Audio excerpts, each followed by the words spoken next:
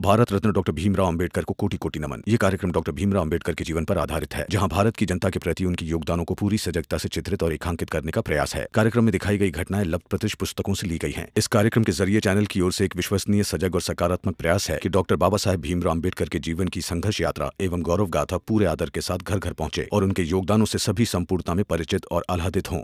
Manager साहब की शर्त का मतलब ठीक वैसा ही है।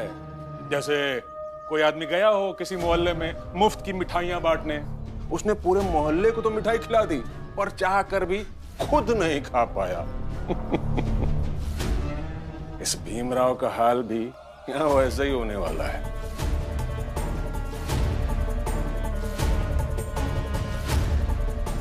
अब देखिए ना, कितना पढ़ा लिखा है आपका शिष्य। ग्रेजुएशन की डिग्री भी हासिल की है पर चाह कर भी यहाँ किसी अखबार को छू नहीं पाएगा, पढ़ नहीं पाएगा। और अखबार को छूने या ना पढ़ने के पीछे तर्क सिर्फ़ इतना ही है, गुरुजी। इसका छोटी जात का होना।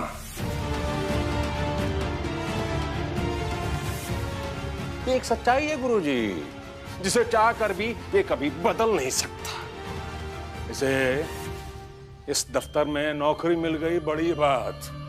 वो भी सिर्फ़ इसलिए क्योंकि आपने इसकी पहुँच अखबार के मालिक तक लगाई थी। पर यहाँ यहाँ काम करने के लिए इसे मैनेजर साहब की शर्त तो माननी ही पड़ेगी। क्यों मैनेजर साहब? जी बिल्कुल। मतलब आप दोनों मिले हुए हैं। एकदम सही पहचाना आपने। देखिए ना आप उधर अखबार के मालिक से मिले? और हम इधर मैनेजर साहब से मिले।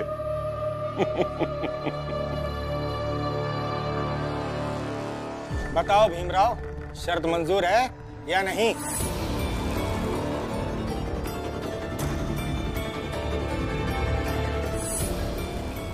मुझे मंजूर है आपकी शर्त।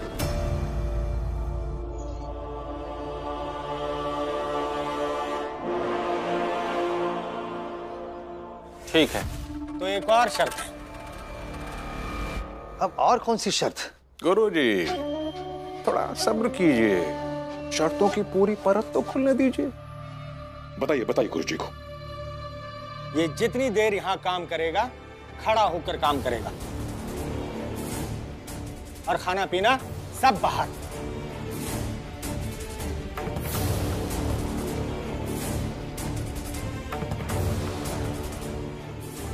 ठीक है। ये शर्त भी मंजूर है। अरे क्या हुआ भीमराव? तबीयत तो ठीक ना तुम्हारी? नहीं आज तुमने कोई बहस ही नहीं की।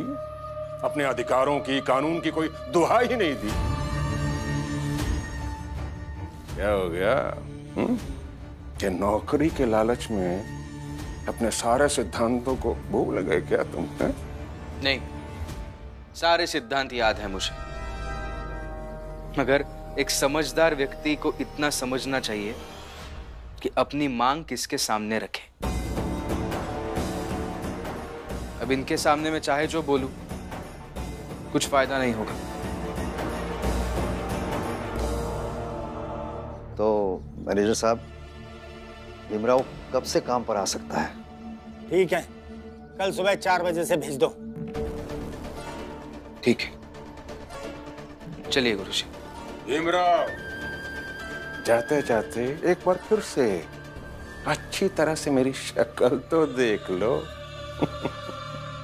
ताकि बार बार ये सोचकर तुम्हें गुस्सा आए कि तुम जहाँ भी जाओगे मेघनाथ को ही पाओगे।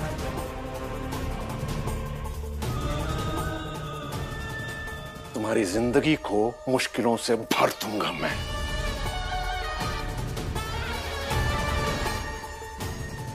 कुछ बोलोगे नहीं, भीमराव? आपका छोटा बेटा महिपाल पढ़ा लिखा है। एक काम कीजिए, कम से कम रोज एक अखबार उससे पढ़कर सुनने की आदत डाल लीजिए क्योंकि अखबार व्यक्ति को जगाता है। और आपको जागने की ज़रूरत है।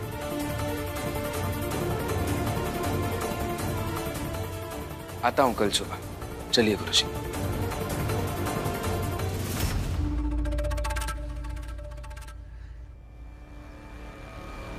मैनेजर साहब, इस भीमराव से काम लेते समय इसे इतना परेशान करो कि हर पल इसे वैसा ही महसूस हो जैसा वो गिट्टी उठाते समय मजदूरी करके लगता था।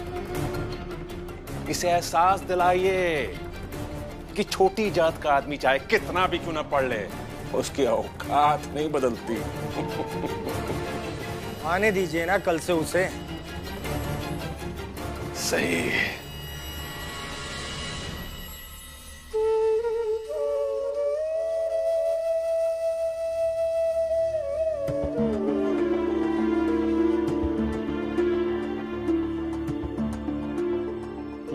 जाने की ज़रूरत क्या है? जिनके घर छोटे होते क्या वो घर में नहीं रहते क्या? आप चिंता मत कीजिए। अभी आप सब लोग एक परिवार हो। आप साथ में रहिए। चाल इतनी बड़ी है। किसी भी कोने में रह लूँगी मैं। नानी ऐसे मत जाइए। बेटा कहीं दूर थोड़ी जा रही हूँ। इसी चाल में तो हूँ। मुझे जाना होगा। शोभा सामान ले ले और चल मेरे साथ।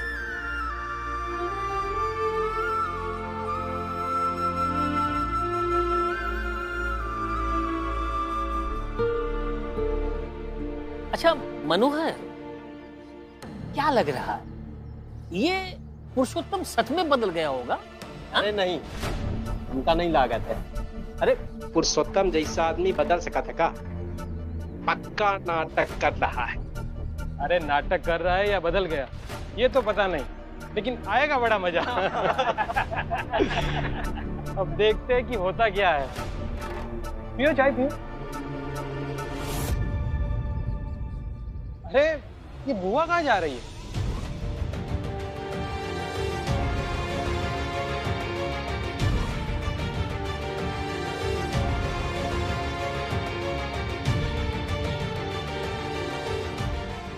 मीरा भाई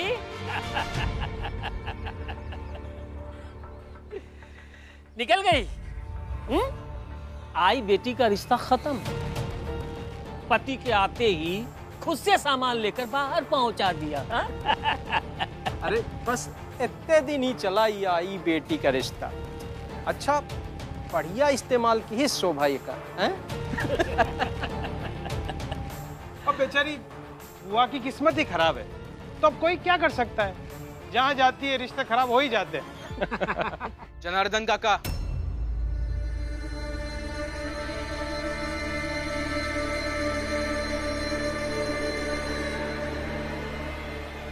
किसी भी रिश्ते को लांछन लगाना आसान है, मगर रिश्ते का सम्मान करना मुश्किल।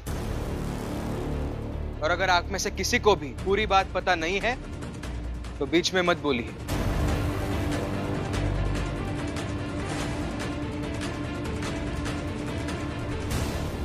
क्या पता जिसे आप भगाना समझ रहे हैं वो सम्मान करना हो? अच्छा भीमराव मतलब तुम कुछ भी कह दोगे कुछ भी कहानी सुना दोगे हम सब मान लेंगे हाँ? आप जरा शांत रहिए और इन्हें बोलने दीजिए। सब कुछ पता चलेगा। बुआ शोभा काकी क्या आपने एक दूसरे को माँ बेटी मानना बंद कर दिया है? भीम ये लोग जो सोच रहे हैं ऐसा कुछ भी नहीं है। हाँ भीम ऐसा कुछ भी नहीं है। लेकिन आपके हाथ में ये झोला देखकर तो ऐसा ही लग रहा है इन सबको कि आपका रिश्ता तो खत्म हो गया है। तो इस पर क्या कहेंगे आप? इन सब लोगों को अपने परिवार और रिश्तों की समझ कहाँ है? तभी तो इन्हें समझ नहीं आएगा कि घर के बुज़ुर्ग अपने से छोटों को जगह देने के लिए खुद घर से निकल जाए। उसे समर्पण कहते हैं, ना कि रिश्तों का खत्म हो जाना।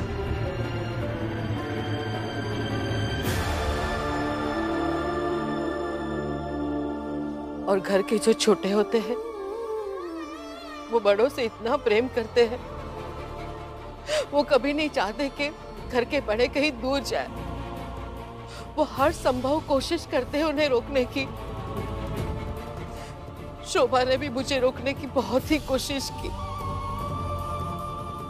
लेकिन ये बात, ये हितेश जनार्दन और जोकू को कहा समझ में आएगी? ये तीन जने का तो परिवार है ही नहीं। तो ये लोग कहा जाने परिवार का इज़्ज़त करना? एक ही है हमरे पति देव जो खूजी इनको अपने पत्नी से कोई लेने देना नहीं है। ये क्या समझेंगे? हो गया? क्या और कुछ जानना है आप सबको? अभी भी आप सबको ऐसा ही लग रहा है क्या कि इनका रिश्ता खत्म हो गया? क्या है ना हितेश काका? कई बार किसी भी रिश्ते में जो बिखराव दिखता है ना वो बिखराव उस रिश्ते को ज़्यादा गाढ़ा बनाता है। बस। हो गया भाषण पढ़ना? हो गया ना? लेकिन अंत में हुआ क्या कि तुम्हारी बुआ घर से निकाल दी गई? अब इस बात पर विचार करो कि तुम्हारी बुआ अपनी घर से निकाली गई और शोभा के घर से भी। तो अब ये बेचारी रहेगी कहाँ? हाँ?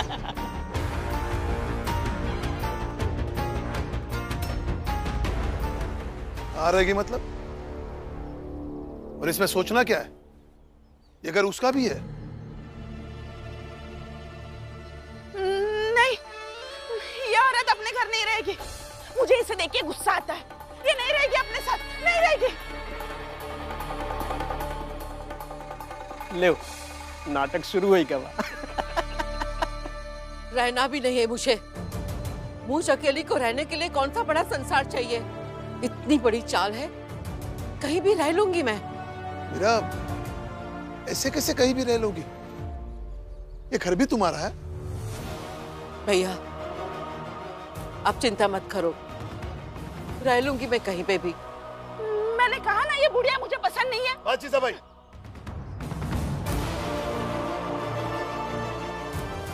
अंदर चलो। मुझे तुमसे कुछ बात करनी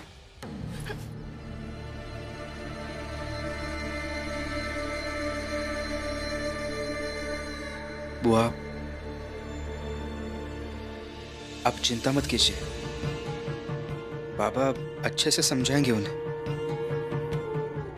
भीम भैया को बोल दे जीजा भाई को मनाने की कोई ज़रूरत नहीं है। मैं मैं कहीं भी रह लूँगी बेटा। चलो अच्छा हुआ। अब चाल में नाटक का एक नया अध्याय फिर से शुरू हो गया।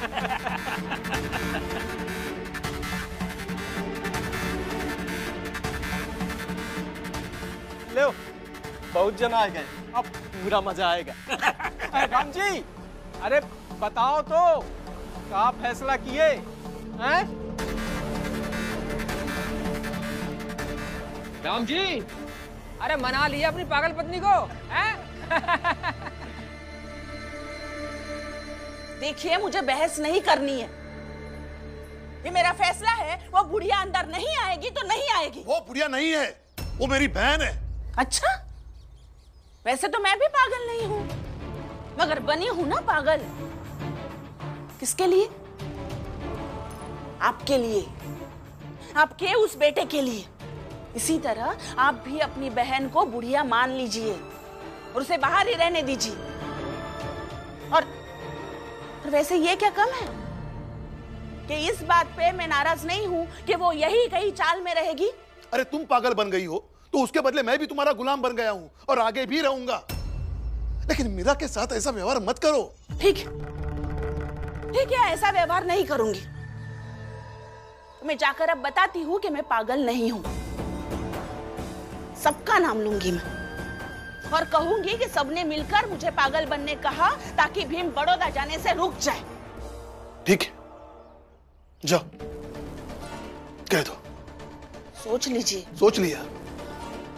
जाओ कह दो पहले ही दिन मुझे आपकी बात माननी नहीं चाहिए थी। बाहर जाकर सबको बताऊँगी। फिर जो होगा देखा जाएगा। जीजा भाई मैं तुम्हारे हाथ जोड़ता हूँ। ऐसा मत करो। मैं भी हाथ जोड़ती हूँ। जैसे चल रहा है वैसे चलने दीजिए। आपका बेटा आपके पास रहेगा। और मेरा पति मेरे पास रहेगा।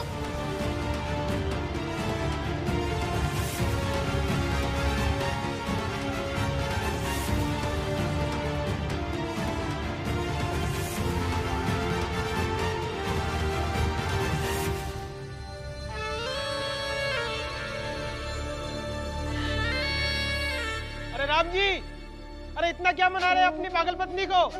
अरे बाहर आओ। हमें राम जी को आखिर जीजा बाई। कौन बात पे इतना देर अंदर रोक पाई? कुछ ना कुछ तो दाल में काला है ज़रूर। लो आ गया राम जी आओ।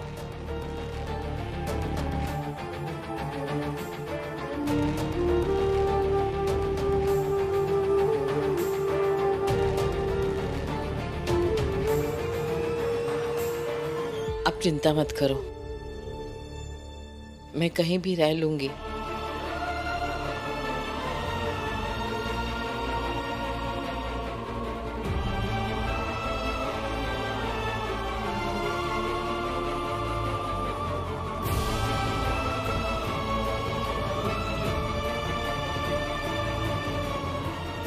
देखो मेरा, मैं तुम्हें घर तो नहीं ले जा सकता।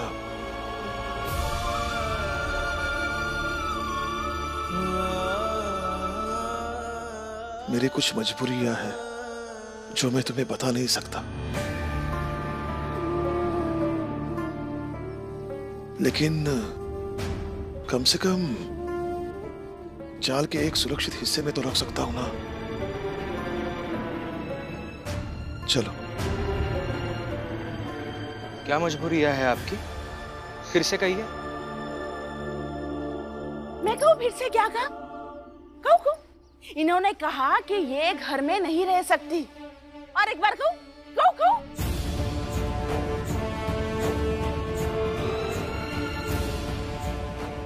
भीम हाथ छोड़ दो मेरा। बताइए बाबा क्यों कहा आपने ये सब? देखो बेटा जैसे तुम अपने पत्नी का ख्याल रखते हो वैसे मैं भी अपने पत्नी का ख्याल रख रहा हूँ।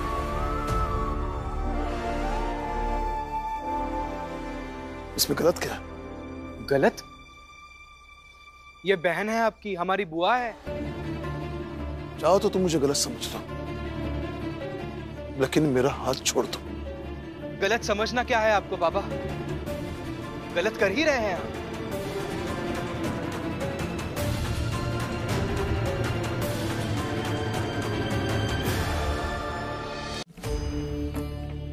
मतलब तुम मुझे अपराधी मानते हो? ठीक है। तो मानते रहो। चल मेरा। बाबा बाबा मैं अभी भी कह रहा हूँ गलत कर रहे हैं आप। अब तुम क्यों रोक रही हो मुझे? तुम्हें दिख नहीं रहा है बाबा गलत कर रहे हैं? वो गलत कर रहा है या गलत दिख रहा है वो नहीं पता है मुझे। आप अंदर चलिए। लेकिन आप अंदर चलिए।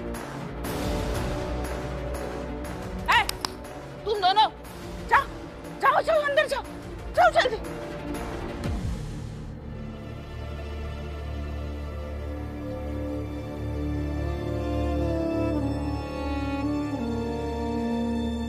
मेरा, क्या कहूँ?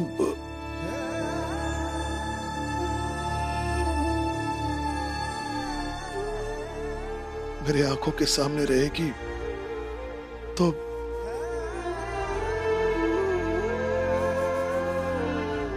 मैं मैं इसी चाल में हूँ। तुम्हें कोई दिक्कत आने नहीं दूँगा। भैया, मैं आपको समझ सकती हूँ। आपकी बातों को भी समझ सकती हूँ। मुझे पता है, आपने जीजाबाई को मनाने की पूरी कोशिश की होगी। अंदर आपने क्या बातें की होगी?